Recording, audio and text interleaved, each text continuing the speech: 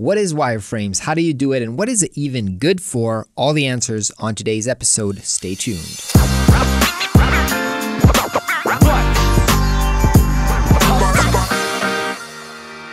Hey everybody, what is up? My name is Ran Segall. Welcome back to the free web design course. And today we're going to talk process a little bit. So you want to design a website, but wait, wait, wait. Before you jump in to your design software to try to pick the right fonts and colors and images, get started with wireframes. What is wireframes? Basically, wireframes is a kind of a sketching. So check this out. This is a hand hand drawn wireframe, basically showing the kind of the structure of a page. Now, it can be done on a sketchbook by hand. It can also be done on the design software. But the goal of this kind of a, a, low fidelity sketch is to try to wrap around your head about what would be the structure of the content of the page. How many titles do you need? Where should you put the button and how many images do you have and that's kind of a way to think and make sure that you have the general idea of the story that you want to tell in your page before you go ahead into the design software. And the reason that you do this is once you get into the design software and you start immediately to ask yourself, to face yourself with a lot of tons of questions. There's tons of questions, right? We've discussed them on the previous episode. What colors are you going to work with? Where do you get the image from? What kind of typeface you use? What is the grid that you should? There's a lot of questions that are about the design of the page. But before you're diving into that and actually being distracted by it, you want to make sure that the thing that you're actually designing is the right thing. And so focusing only on the content and the structure is the idea behind doing wireframes and it allows us to only focus on getting the important thing in our message across before we move into focus about making it beautiful and great user experience and looking amazing.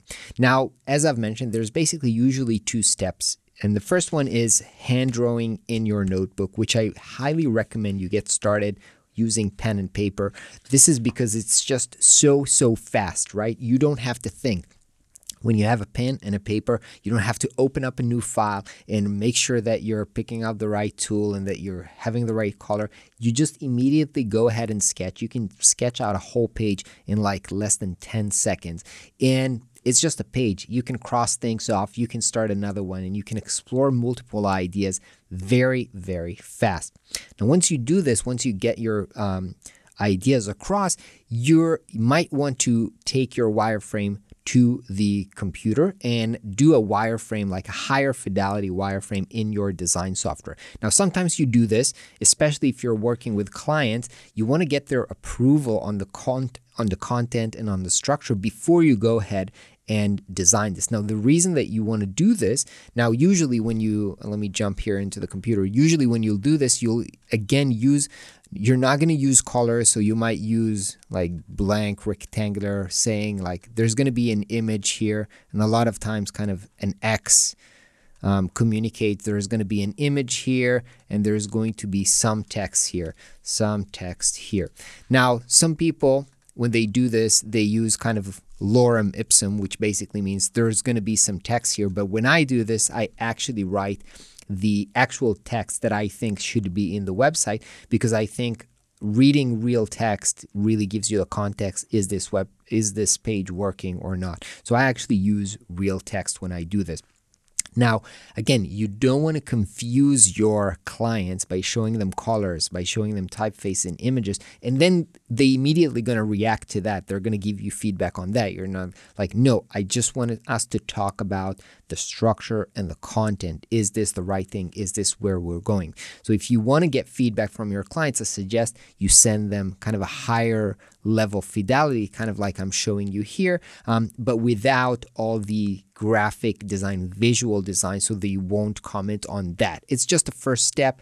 Once you approve that, you move into taking things to the more visual place. Now, that's that's a great process when you're working with the client. If you're working for yourself, what I usually do is I would just sketch around here and then actually do the actual design on the computer. I don't create the actual kind of uh, wireframes in the computer if I don't have to approve them with my clients. For me, it's just kind of an extra step. And if there's no client that I need to improve with, approve the project with, I'm not going to do this. But I always sketch on on paper, even when I'm just working with myself. Again, it really helps me to clarify my thoughts and my ideas.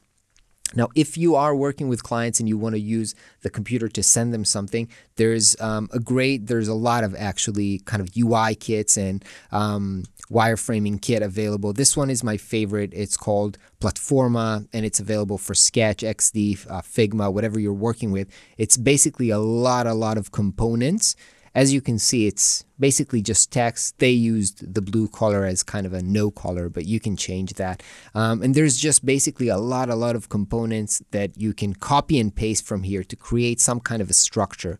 So this is kind of, you know, an image gallery or type or all kinds of forms. So this would help you really quickly structure some kind of a page and then send it to your clients all these software, XD, you know, Sketch, Figma, all have kind of a sharing um, capability that you can share with your clients to get some feedback. So that's really, really a great idea. And I think it's really, really useful if you're sending them. However, I do still recommend that you start with pen and paper because if you get started immediately using one of these um, wireframing kit, you're immediately going to be limiting the way that you think and you do your layout and your components to what they have here. Now, even though they have a bunch of stuff here and it's pretty comprehensive, you want to keep your mind open and you want to be able to think about maybe something different and just get started here on pen and paper and then see if they have this. If they have, most likely they have it, use it. If not, you know, change it a little bit.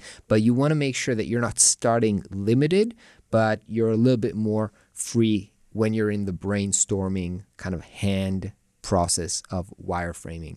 So those are the tools. There's also a lot of free wireframing kits because this Platforma is actually a premium one that you can buy. I'll put the link below to this one because it's my favorite and also to free ones. I think My favorite free one at the moment is the one that was published by InVision. So you'll have the links below this video to this wireframing kit.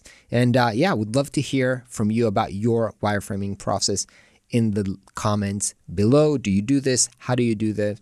And I will see you on the next video.